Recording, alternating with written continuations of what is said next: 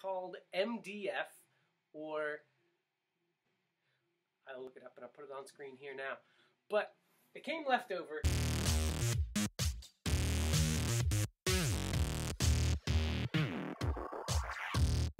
Hello, welcome back to 3D-Lirium. My name is AJ, and today we're actually starting a project, and I'm going to be chronicling the process to finish it.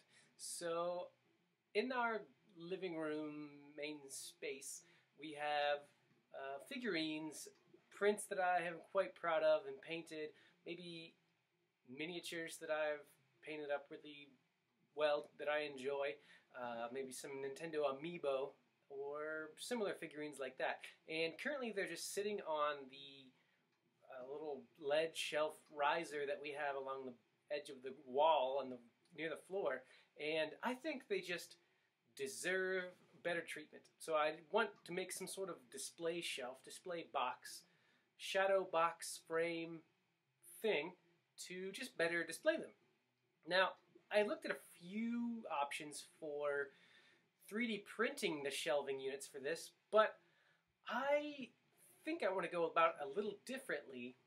You see, I have this piece of material here. Uh, it's uh, wood. A, I believe it's called MDF or medium density fiber board. I have this fresh piece all safe and sound and I'd like to cut it into strips and then little notches in it and fit it all together like a grid um, like some of these that I have shown here on the screen. Now I don't have anything with which to do that. I've tried using uh, like a box cutter like this when cutting MDF in the past, and it comes up with uh, a few issues that I've noticed. So one, the cut's never consistent. So since it's usually so thick, I would have to score from the top and flip the whole project over and score from the bottom. And so they don't always 100% meet up. But you can kind of see a little bit right here. Every time I use a box cutter or a blade to try to cut MDF, I'm left with these exploded edges where like the top couple layers on both edges, top and bottom, kind of explode out and make this like uh, unruly furled edge that I'm have never really been a fan of. And on other projects, I've tried just shimming that off or using some sandpaper, but it just comes up with a sloppy job in the end. So I've got a few ideas for how I might be able to cut this full unused piece of MDF to then assemble it in exactly the way that I want. So what I have is this. You've seen it in a, a few other videos. It is, uh, I guess you would call it like a kitchen screwdriver. Uh, it has a little pivoting action, which I always thought was pretty fancy.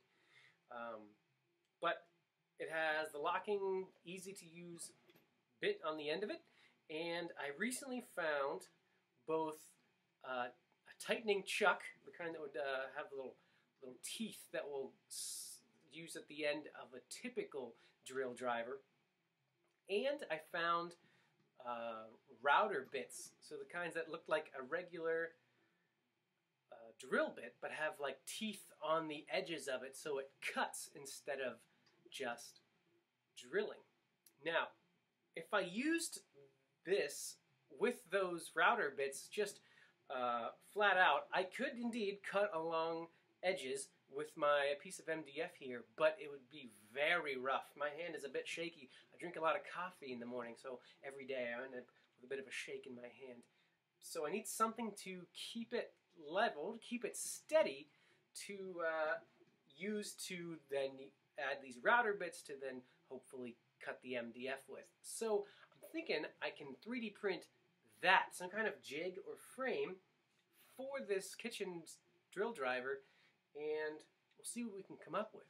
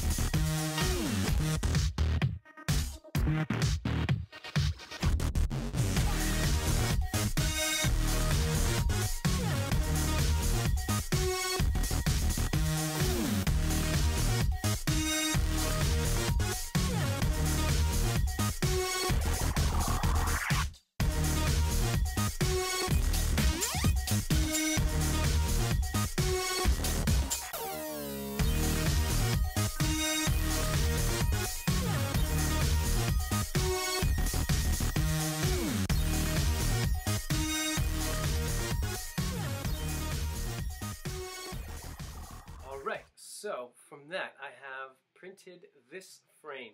So I have spaces at the top and the bottom for the purposes of inserting this down in top and then I would use some zip ties in the top spaces to just kind of get it tight so it can't move around. Uh-oh. Hmm. So I made this notch specifically for the little LED protrusion to stick in, but it looks like it doesn't actually completely fit down inside there. I might have to make a spacer. Hmm. We have to make a spacer to just add support right there. But you'll see I added some holes and spacers in the bottom so that I can have access to the auger bit that will later go on there. And then a flat surface with a smaller hole in the bottom so that the bit can stick out a little bit. Hmm. It looks like I might not be able to continue with this until it fits flush. Another issue that I've noticed is I don't have any clamps. Now, I can very easily 3D print some cheap clamps. I shouldn't expect much from them, but if it really would just last this one project, I want something that can clamp the board down to a table to then have a spacer clamped down on top of that so that when I use the my makeshift router here that I'll be able to have another board that this one will just go on to make as straight and perfect of a cut as possible.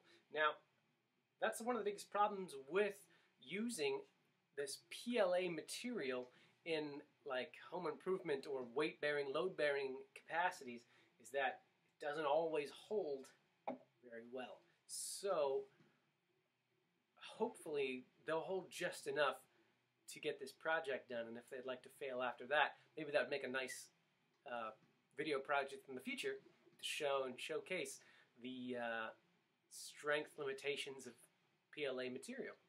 Maybe, maybe, maybe. So next, let's look for some clamps online, print them out. We'll be back soon. All right, well, it's another day. The clamps took a bit longer to print than I expected them to, but they work, they're done, and they seem to do just fine. I printed my little spacer for inside here, and I, again, like touching back onto my things to learn from 2020 video, I didn't measure twice before I printed, and the spacer is actually a little too small, so I had to lift it a bit and then just add super glue. I was planning on just kind of sticking the spacer in there, and friction should have helped me if the spacer would have been big enough, but it wasn't. So I added super glue to hold it on, and then I even added a zip tie around it to try to hold the whole thing together as best as possible right around the two sides in opposite directions, which would open this up and cause the spacer to fall down. So we don't want it to do that. So I added the zip ties for a little extra strength. Now I've also added onto the screwdriver the auger bit and the router bit that should um, make this whole setup work. And I guess that means it's time to now try it in here. So I'll set this off to the side so that nothing gets damaged, but it should stick down through the hole. Ooh, that was very solid. So that light now rests on the spacer. You can see everything inside here just fine, and the cutting bit is even and flush with the hole there. This is turning out to be pretty perfect. So if we hold this together as tight as possible and push the bit to the side, I can feel it tugging on the screwdriver, but it's actually not coming anywhere near the walls like I expected it to. Hmm. All right, so this might just work. So my original plan is I have a bunch of zip ties here. My plan was to zip tie the the whole thing together so that I can take it apart later on.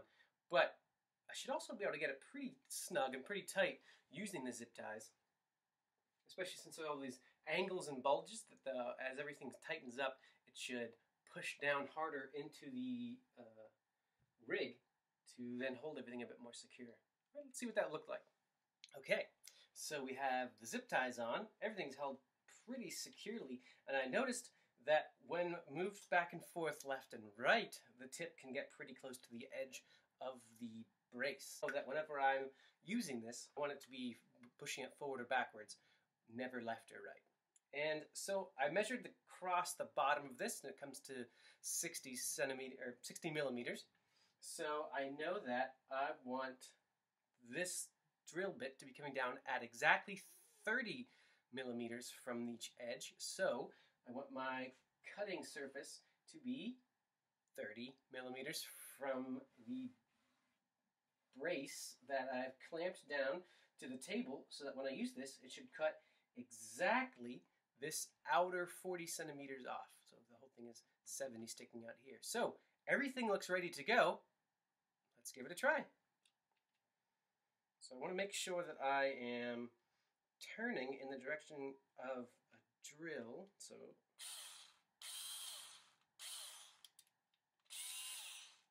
there we go. This direction. And it should just work.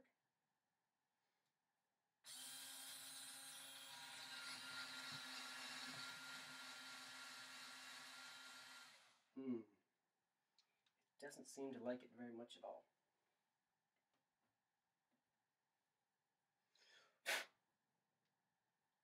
You saw that this board moved quite a bit. We'll be back to the drawing board for a short period of time.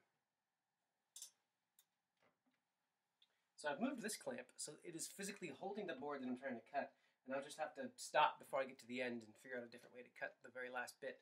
But it is very possible that these 3D printed PLA clamps are just not going to cut it. Like they could easily be considered toys for what I'm trying to do.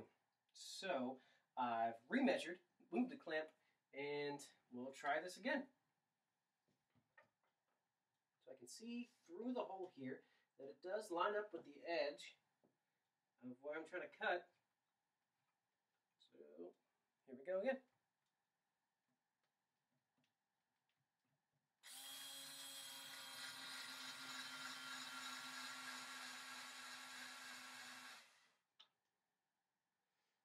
really want to cut it off. Maybe I'll try spinning in the other direction.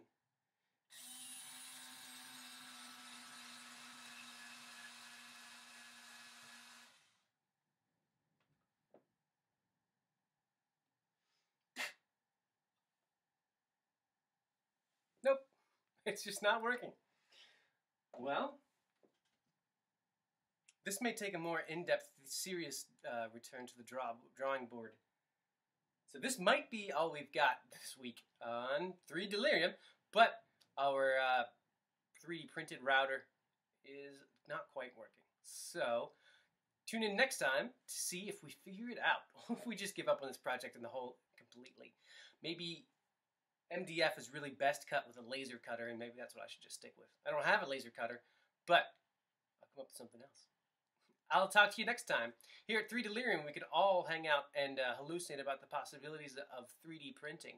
And if you really like my content, feel free to subscribe if you'd like to. And there is a Patreon page if you feel like you'd like to do more. Thank you very much. I'll see you next week.